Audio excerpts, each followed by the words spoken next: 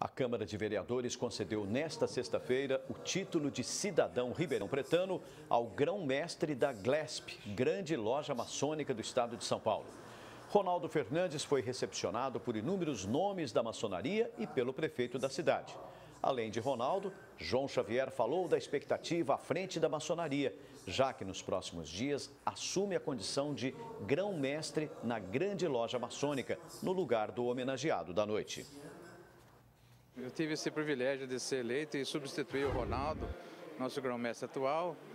E estou muito contente com isso. E com o apoio de todo o estado que eu tive, né, fui eu eleito. E a maçonaria, ela hoje já não é mais secreta, ela é discreta hoje, né?